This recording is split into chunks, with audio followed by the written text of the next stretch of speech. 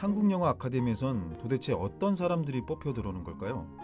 일단 지금 재학생들을 한번 살펴보면 영화과 나온 사람도 여러 명 있고 다른 분야에 있다가 온 사람도 더러 있습니다. 20대부터 40대까지 참 사연도 다양한 사람들이 모인 것 같은데 그렇다면 이들의 공통점이 있을까요? 네, 무엇보다도 첫째는 몇 년 해보다가 힘들면 그만둘 게 아니라 정말 영화만이 내 길이다. 영화에 목숨을 걸겠다 하는 사람들이라는 겁니다. 이것은 한국영화 아카데미에서 요구하는 세 가지 인재상 중 첫 번째 조건인데요. 그만큼 영화에 대한 열정과 끈기를 중요시한다는 것이죠. 그럼 아카데미가 원하는 두 번째 조건은 무엇일까요? 네, 바로 인간과 사회에 대한 통찰력을 갖고 있는가입니다. 인간이란 어떤 존재인가? 우리가 사는 세상은 어떤 곳인가 하는 것들이죠.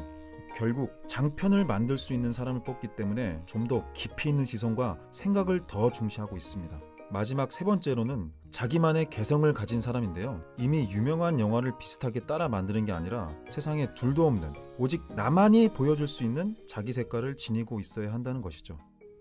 시나리오 단계부터 거치게 되는 많은 크리틱에서 정말 세찬 독설들이 쏟아지는데 그럴 때마다 상처받고 흔들리기 쉽거든요. 하지만 그 순간에 끝까지 자기 색깔을 지켜낼 수 있는 사람이 되어야 결국 좋은 작품을 만들 수 있을 겁니다. 2014년 한국영화 아카데미에는 정말로 단단해질 각오가 되어 있는 분들이 지원하시기 바랍니다. 지원 준비 되셨나요? 그럼 여러분 한국영화 아카데미에서 꼭 만날 수 있길 바라겠습니다.